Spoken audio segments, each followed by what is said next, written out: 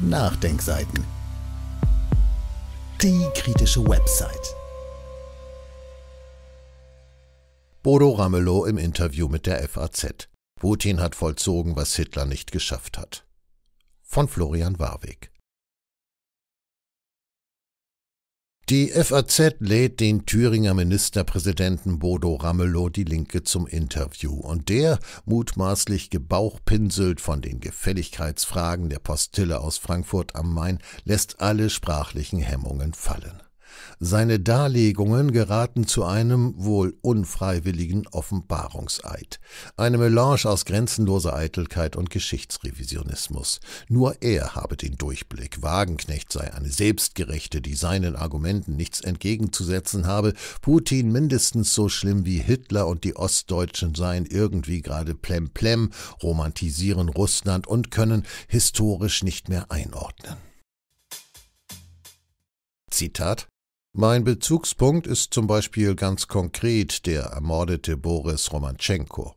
Der Mann hat in Buchenwald die Nazis überlebt und kam dann als sowjetischer Soldat in die DDR. Als Rentner in der Ukraine ist er jetzt durch eine russische Fliegerbombe getötet worden. Da sage ich, was Hitler nicht geschafft hat, hat Putin jetzt vollzogen.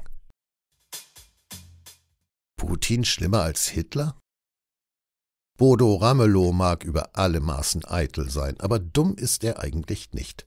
Wie kommt so jemand dazu, gleich zu Beginn von einem Interview so einen Satz rauszuhauen? Und dann noch im Kontext eines von der Wehrmacht zur Zwangsarbeit verschleppten sowjetischen Jungen.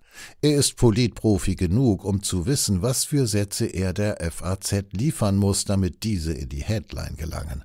Das heißt, der von ihm vorformulierte Satz, was Hitler nicht geschafft hat, hat Putin jetzt vollzogen, ist mutmaßlich bewusst gewählt und kein Betriebsunfall. Und diese Aussage ist mit ihrer Implikation ungeheuerlich. Er setzt nicht nur den NS-Vernichtungsfeldzug mit weit über 20 Millionen getöteten Sowjetbürgern mit den kriegerischen Handlungen des heutigen Russlands gleich, sondern impliziert durch seine Wortwahl, dass Putin in der Endkonsequenz sogar schlimmer sei als Hitler. Denn Putin vollende Hitler, so die Ramelowsche Logik, weil Romanschenko, den die Nazis 1943 in ein KZ gesteckt haben, bei einem russischen Luftangriff auf Krakow ums Leben kam. Mehr Geschichtsrevisionismus und Relativierung des NS-Regimes gehen eigentlich nicht. Stark Zimmermann, Hofreiter und Konsorten schauen wohl gerade voll Neid auf diese sprachliche Eskalationsleistung. Wagenknecht die Selbstgerechte.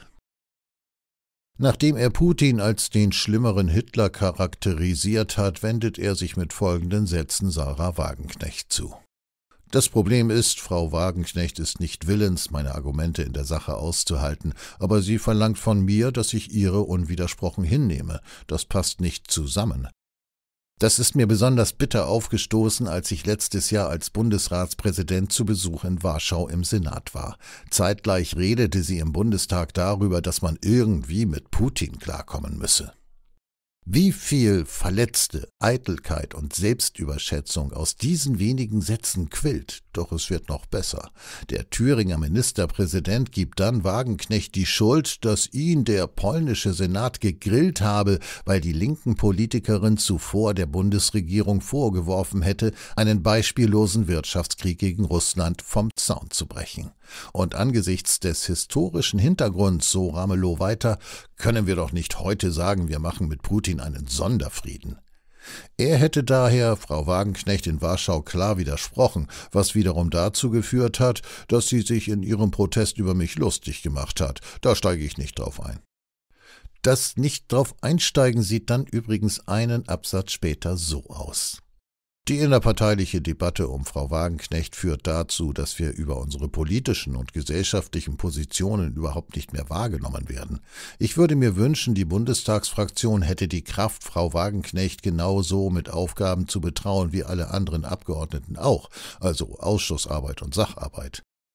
Wer über die eigene Partei ein Buch schreibt mit dem Titel Die Selbstgerechten und dafür 720.000 Euro Honorar kassiert, statt die Auseinandersetzung innerhalb der Partei zu führen, hätte das Buch besser Ich, die Selbstgerechte genannt.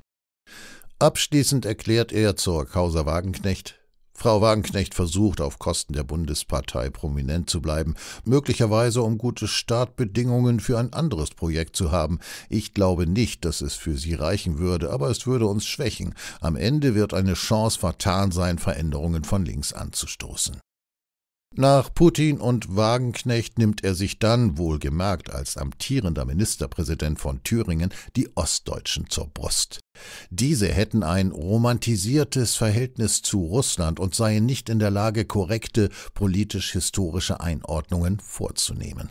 Behauptet ausgerechnet derjenige, der zuvor mit seiner Putin-Hitler-Gleichsetzung massiven Geschichtsrevisionismus betrieben hat. Anschließend betont er nochmals, dass man den russischen Angriffskrieg klar benennen müsse. Viele Ostdeutsche würden aber sagen, das ist mir alles zu kompliziert. Ramelow wird dann gefragt, ob er mit dieser Haltung, die vor allem in Ostdeutschland auf Vorbehalte träfe, sich nicht den Wahlkampf erschwere. Seine Antwort ich werde niemandem nach dem Mund reden. Ich merke natürlich schon, dass aus der Diskussion um die Ukraine eine Ost-West-Debatte geworden ist. Da werde ich dann auf einmal wieder als Wessi tituliert. Sonst bin ich stets der Ehrenossi. Da ist sie wieder, die verletzte Eitelkeit des Bodo R. Den Ostdeutschen öffentlich vorwerfen, sie würden romantisieren, viele Dinge erschienen ihnen als zu kompliziert und sie seien nicht in der Lage, politisch-historisch Einordnungen vorzunehmen und dann wundern, wenn man wieder als Wessi-Import angesehen wird, der sich anmaßt, die Ossis zu belehren. Ob Ramelow wirklich vorhat, erneut Ministerpräsident des Freistaats Thüringen zu werden? Zumindest seine Aussagen im FAZ-Interview klingen beinahe nach bewusster Selbstsabotage qua Wählerbeleidigung. Vor diesem Hintergrund gibt es eine wunderschön doppeldeutige Aussage von ihm in dem Interview. Ich kann nur mit einer Partei in den Wahlkampf gehen, die meine Aussagen nicht als Betriebsunfall ansieht, sondern die sagt, wir verstehen und akzeptieren das. Dieses Audio konnte nur entstehen, weil zahlreiche Leser und Leserinnen die Nachdenkseiten fördern und durch Spenden unterstützen. Wenn Sie auch etwas tun wollen, klicken Sie einfach den entsprechenden Button auf unserer Website an.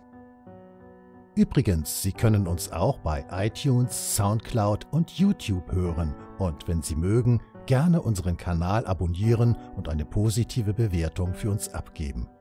Wir freuen uns über Ihre Unterstützung und die Weiterverbreitung unserer Inhalte.